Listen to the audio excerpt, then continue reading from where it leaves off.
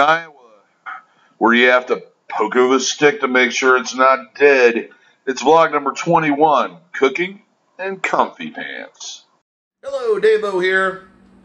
Haven't done one of the vlogs for a while, so here we are. Vlog number, I believe, 21? Is that right? Is it 21 or 22? I'll figure it out later. Thought I'd do something different. Stuck at home today, so I thought I'd uh, mess around with this recipe I've been messing around with. So this is going to be me cooking. I don't know if that's cool. I don't know if that's something you want to see, but that's what's going to happen today. So sit back, enjoy, and get hungry because we're going to make some pasta sauce with Cajun kind of feel to it. We'll get into it in a second. Well, welcome to my dimly lit and uh, messy kitchen. Eh, it is what it is.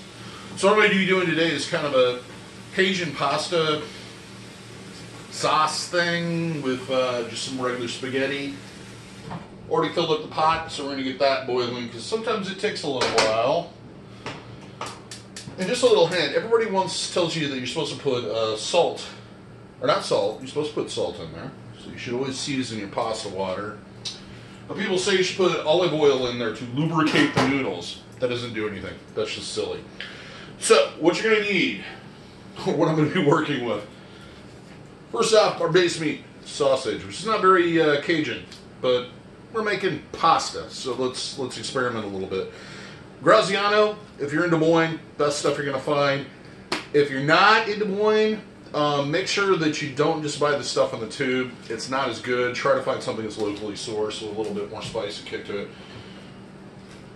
Vegetables, onions, peppers, chopped up.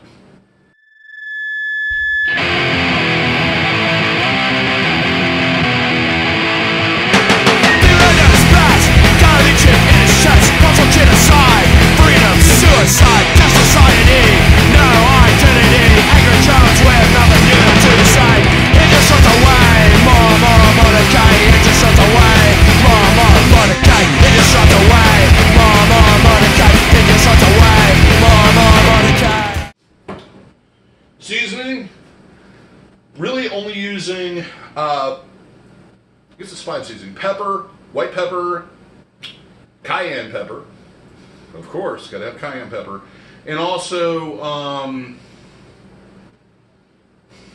oregano and thyme, um, and salt, of course, a little salt to taste.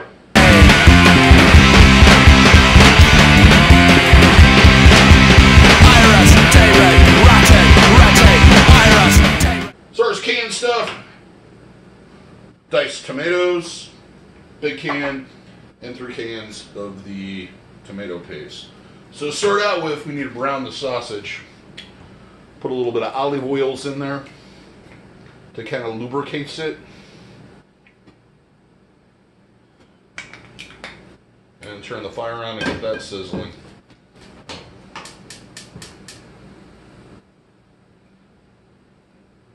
biggest thing in pasta I love is big pots. Um, I happened to find these a long time ago and got a really good deal on them, and I've used these for everything from just cooking pasta to making sauces to making beer. Now, the way I came up with this idea was uh, we made uh, we use this recipe as kind of the base for our jambalaya. It's a little different because instead of using uh, Italian sausage, we'd be using um,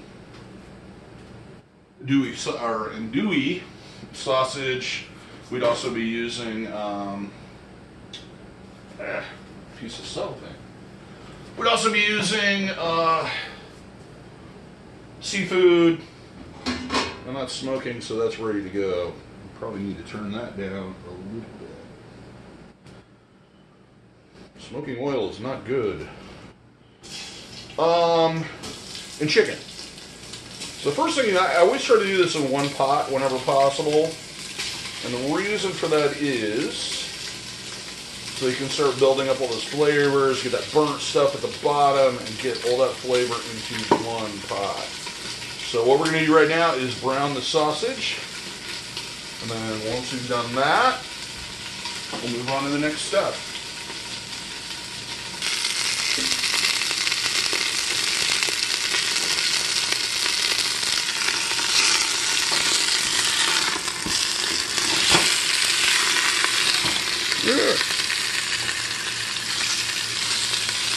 Sizzle, sizzle, sizzle. Everybody should. I think it's important everybody learns how to cook. Um, I started cooking basically out of necessity and hunger. Um, sometimes, just be family life and I was busy as everybody was, mom couldn't cook every night.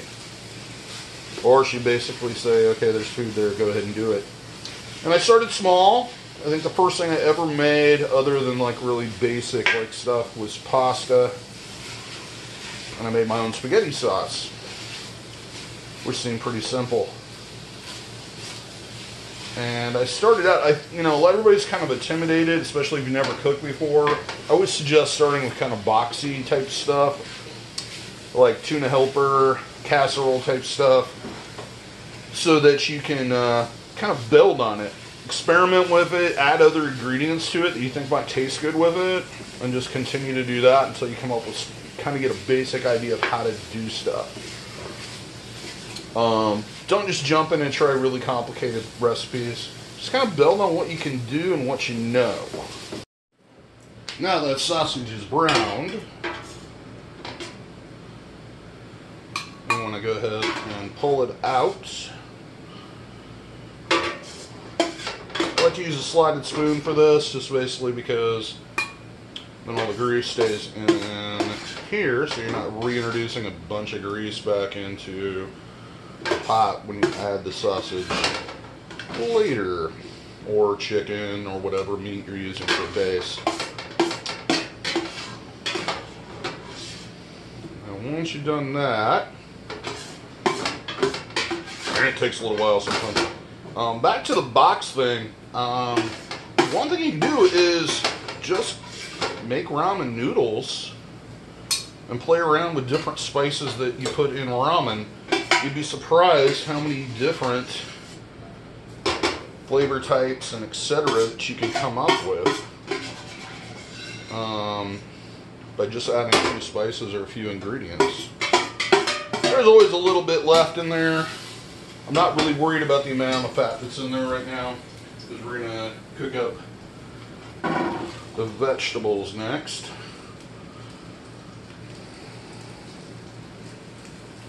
That's what we're doing right now. We've added the onions and the bell peppers. And part of what we want to do is we want to kind of build on that sausage flavor, get all that burntness in there, all the browning, because that's all flavor. So these will take a little while to cook, and you want to get them to the point where they're tender crisp or translucent, the onions especially. I like red onions personally. A lot of people don't like them because they think they're a little too sweet, but I think they have a better flavor. They add more character to the dish, no matter what you're cooking. So I'm a fan of the purple or red onions. Forgot to add the garlic. Yeah, uh, basically I put in roughly about six tablespoons, or teaspoons, tablespoons would be insane, of minced garlic. We're going to add the tomato paste. This, so we're going to add three cans of it. You'll notice I'm kind of pulling it off to the side of the fire because it's going to get ahead of me. I wish there was an easier way to do this. But we have yet to find it.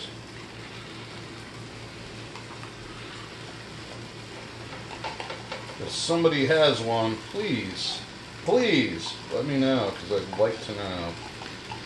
Now what you want to do once we get this all in there I bet that sounds lovely on the video recording. Is you want to brown the tomato paste. So it gets to a point where it's kind of monog uh, mahogany colored. So now, I'm going to brown that. And it doesn't matter if a little bit gets kind of burnt-ish on the bottom, kind of that brown color we just kind of make a ball with it. Because that's kind of what we're going for. We want to get it to the point where it's kind of almost mahogany colored. that point where it's kind of mahogany colored. You'll notice it's getting darker. It's kind of burning a little bit. All of that is flavor. Flavor, I'm telling you. Flavor. Now, we're going to add the seasoning in. I think I forgot about the chicken hot, the chicken broth. We're to add about two cups. I like to use these because they're exactly eight ounces. So it kind of balances out. And I might get a little bit more of that tomato out of there.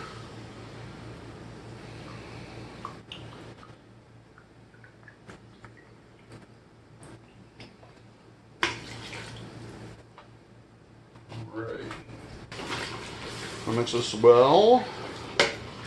So get it all mixed together here.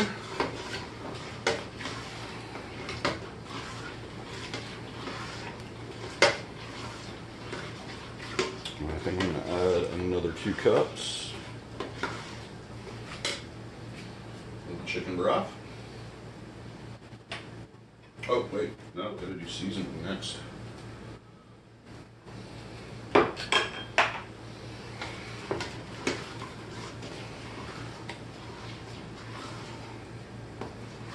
See, what we're doing is we're building up flavors. First, we got that sausage flavor. We've got that. Um, got the burnt tomato flavor. We got the vegetable flavor. Now, if we were doing Cajun, we would have started out with garlic, peppers, well, peppers, onions, and celery. The holy trilogy. Trilogy. So, what I'm to add right now is the king canned tomatoes.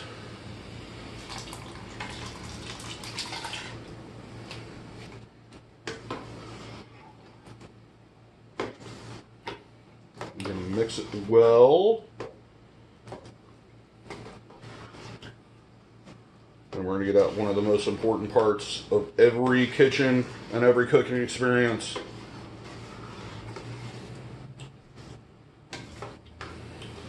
The tasting spoon.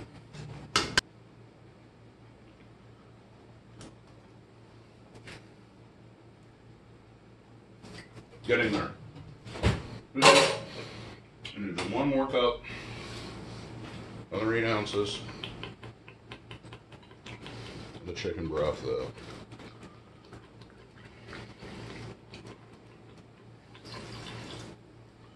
We're gonna mix that in, and then we're gonna let it simmer for about 10 minutes. After I add one more thing, so we're getting a lot of that front or that uh, back of mouth definite Frio Cajun heat. I'm going to add some crushed red pepper. And I'm thinking a teaspoon. And what we're doing is we're letting all those fly, all those chemical reactions, letting all those flavors kind of combine and get interested with one another and develop a new more complex taste.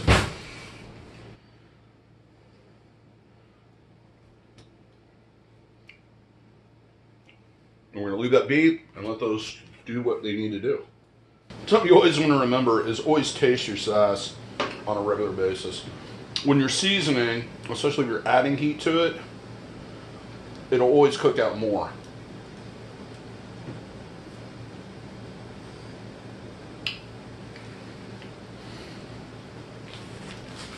Now I want it a little bit sweeter than what it is. So what I do is add a little bit of brown sugar. I'm an American. I like sweet things. But I'm not going to add a lot. I'm just going to add a teaspoon. Just to give it kind of a little bit of a sweet taste to it. Not too crazy. To offset and give it that balance between the heat and the sweet. Those are my two flavor flavors, favorite flavors. So let's stir that in. And the brown sugar will kind of melt into it. And also give it a slightly darker look to it. And it'll take a few minutes for it to go there. But what I'm tasting is a little bit of sweetness, the, the tartness from the tomato, a little bit of heat in the front from the cayenne pepper, a little bit of black pepper on the back. It might need just a tad bit more salt. Tad more salt in there.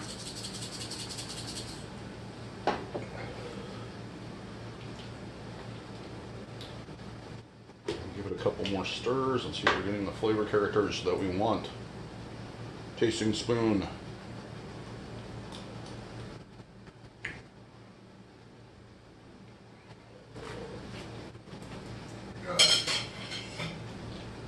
Now, you want to check the thickness. Personally, it should slide like that. I like it to stick to the uh, pasta a little bit. And we're going to add that sausage back.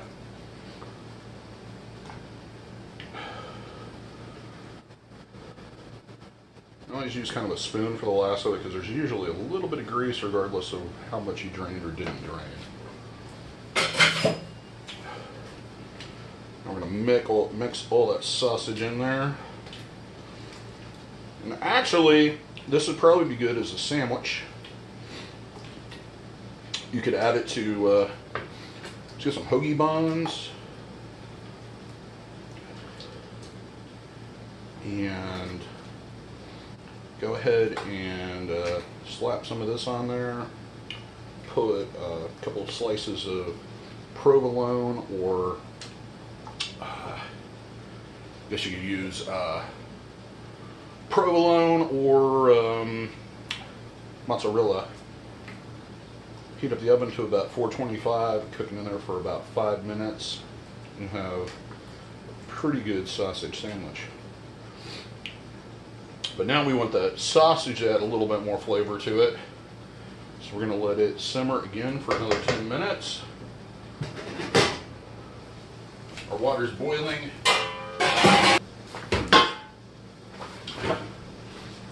Thick spaghetti.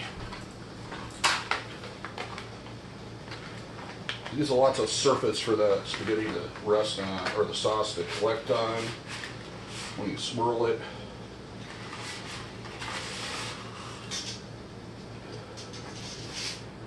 And for al dente, it's usually about 11 minutes. So we'll set that. And the sauce should be ready by then too. So I think we're on the way to to, uh, to food time. I think I am going to add just a little bit more chicken broth because I'm going to thin this out just a little bit. Total of four cups. So we're going to put another cup in here.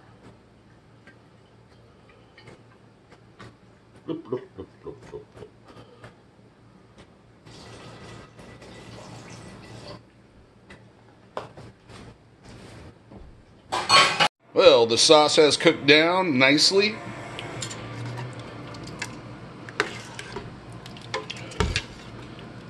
All the steam coming off of it. And the pasta's el dente and ready to deliver.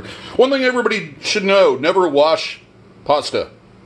The only reason you never wash pots, wash pasta, or wash, as we say in the Midwest, is if you are going to go ahead and add it to a casserole and you want to stop the, the pasta from cooking any further. Otherwise, leave it alone. Don't wash it. So, that's all there is to making pasta sauce at home. My own version of it. So, uh, that's all for this vlog. Enjoy yourself. Try this at home. Cook. It's entertaining, especially when you do it with other people. Do it with relatives, friends, loved ones, etc. Also, if you like this video, please subscribe. If you'd like to see more of my vlogs, click on the playlist. Um, if you'd like to subscribe to my other channel, which mainly focuses on tattooing and piercing, click on that one. Um, and if you like live music, check out Lefties Alive. Playlist. Good playlist. A lot of stuff. A lot of bands. A lot of stuff. Anyway, so here's the final result. It's all its glory with the steam rising off of it. Beautiful, isn't it? Beautiful. Beautiful. Enjoy.